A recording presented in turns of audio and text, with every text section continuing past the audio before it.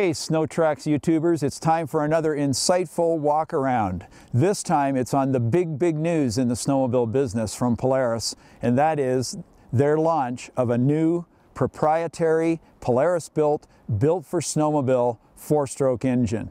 So let's get into the nitty gritty first. Uh, I'm sure that you want to know about the motor. Here's the good news. This is a twin cylinder 270 450 firing engine that has that Harley kind of cadence, but it also has a gear-driven counterbalancer, so it's as smooth as butter. It's an eight valve engine, double overhead cam, and it's a dry sump motor. So those of you who are Polaris gurus uh, probably know, or just from my brief description are realizing that this is likely very similar to a Razor power plant. Yeah, that's true, it is, uh, but it is different. It's dry sump, the Razor is wet sump, so this has an oil recovery tank and it makes the motor uh, uh, shorter overall so that it can be jammed down lower into the front of the vehicle. So that's why it's dry sump. Uh, it is obviously EFI. It's got two throttle bodies and it's a pretty impressive, uh, pretty impressive motor. It, uh, from the beginning, has been targeted and planned on being used in a snowmobile and they're, uh, they're good to their word. That's exactly what we've got here. So this is the first stage. Now, uh, I don't want to delay the drama because you want to know what horsepower puts out, and so do we. So here's what Polaris is telling us. And you got to realize we have only had access to this vehicle for just a few days, so we're in the very infancy of its introduction. This is what Polaris told us. It has more than 80 horsepower and it has less than 100 horsepower. So if you've got your calculator out and you're a, you're a real numbers guru, you realize that's 90 horsepower. And that's a good number for them to be at because the 900 ACE uh, Rotax engine used in many Ski-Doo models is 95 claimed horsepower. This motor uh, feels every bit as strong as the uh, Rotax engine. It'll be very interesting when we're able to get them head to head. We have not been able to do that yet and we won't be able to do it here uh, at Yellowstone. Okay, so let's move on. What else is interesting about it? The, uh, the motor comes and is available in a variety of Polaris platforms. So just to get this in perspective, the S4 is not a model unto itself. This is an XC with an S4 power plant. But of course, you already know you can get uh, the uh, multiple Polaris engines, we will just stick with the 650 and the 850, in multiple Polaris platforms. Well, that now you add the S4 to that repertoire of engines. So it's not a model to itself, it's an engine option in the Voyager, in the Indy XC, and in the Titan, you can get this motor. Okay, there are some styling cues on the uh, S4 powered uh, Matryx models, and that is the extra venting on the hood below the windshield kind of gives it away. And also when you look here, you'll see that there's a new reverse shifter. And I just want to just talk about that for just a second.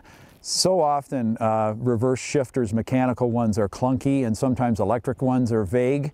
This is really a nice working piece. I've been using it all day here and it is slick. It never misses a shift. It never, when the belt picks up the secondary, it doesn't ever do a big clunk.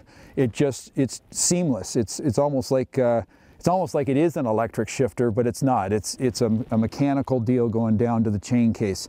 One of the things I notice is, is the cool brake noise that Polaris uh, uh, snowmobiles, particularly uh, AXYS and Matryx models, that cool kind of whizzing sound that the brake makes. It doesn't do that because things have been juggled around on the chain case with, uh, with the brake rotor.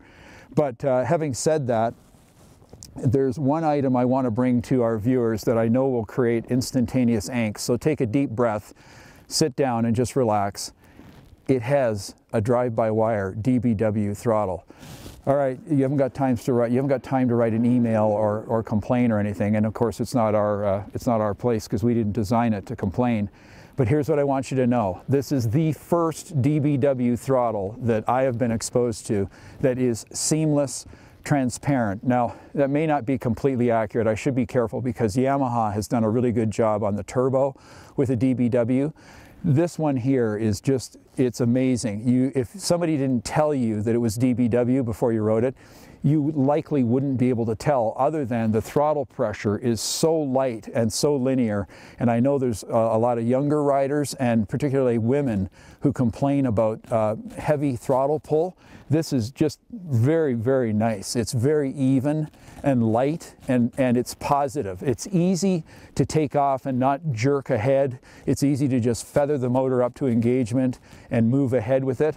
It's a really good working throttle. There's more news. It's a tri-mode, so it has eco, it has normal, and it has sport. Where are you going to want to run it? Mm, probably in sport most of the time, but here's the interesting news. You can drive it in normal and there's still no throttle lag. Normal is just a little bit softer in the mid-range, so uh, the, the sport mode is really the mode of preference in, in my humble opinion. But uh, it works really good. They've done a great job here. And I think that they knew the stakes were pretty high because you need to have that uh, seamless, almost invisible throttle response because that's what we're used to and that's what we expect as snowmobilers. An interesting uh, inclusion in the S4 engine package, which isn't part of any of the other uh, engines that Polaris offers, is a, uh, uh, a starter uh, interlock. So when you go to start this snowmobile, because it engages so low at 2100 RPM, you have to uh, squeeze the brake lever, which is the same way you do it on a, on a Polaris ATV. That interlock feature is now on the S4s. So what is the impression in terms of handling, uh, is there any material effect that this engine has on the way this sled works, suspension or handling wise? Pretty much across the board, everything works just like you'd expect on a Matryx uh, Polaris with uh, Pro CC in the back end. There is one small detail uh, that we're uh, not crazy about, and it's the only thing we're not crazy about, is the all S4 models, are, are all models that are powered by the S4 engine, come with dual runner carbides and it's, they're there to stop darting and quite frankly they soften up the uh, initial turn in of the front end of the sled. What tends to happen is, is uh, about the first 10 or 15 degrees of initial turn in everything is fine but then as you go beyond that at 15 to 20 degrees of turn in it starts to understeer. That is not a Polaris trait uh, we're not super crazy about it, but it doesn't dart, and if, if anti-darting is, is what you're after, then you'll be happy. The good news is this, and it is good news. All you got to do is take the carbides off and put a set of six-inch carbides on it, and Bob's your uncle. You're back in business. It's going to handle just like a Polaris, just like a Matryx, just like everybody's come to expect. And Polaris has uh, a pretty uh, strong reputation for really great handling, and they've carved that out by producing sleds that don't understeer. So that's if, if you get a ride, your first ride on, on one of these, uh, you may find that it feels a little bit soft on the turn in and a little pushy or understeerish uh, throughout the middle of the corner and uh, sometimes you need to drop the throttle a bit or drag the brake a little bit. You can change all that by putting on a regular carbide runner. The skis are Polaris standard skis. They work great. They're very dart free even with a single runner carbide on them. Okay, so today I didn't spend a lot of time talking about QS3s and all the kind of features that are on this XC model because you know that stuff and we've got lots of walkarounds and we'll have more on specific models. I wanted to introduce the S4 to you. I wanted you to get a feel for some of the, uh, or an answer to some of the questions I know that you'll have, and there'll be more.